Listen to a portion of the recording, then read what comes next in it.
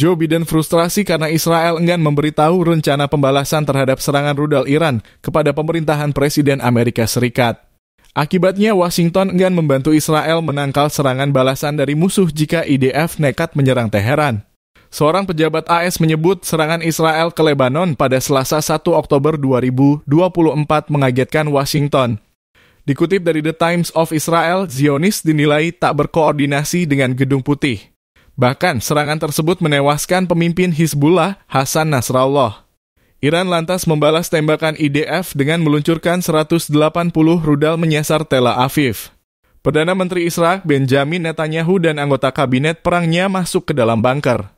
Teheran memberi peringatan ke Israel jika mereka akan meluncurkan serangan lebih besar apabila Zionis dan sekutunya membalas serangan tersebut.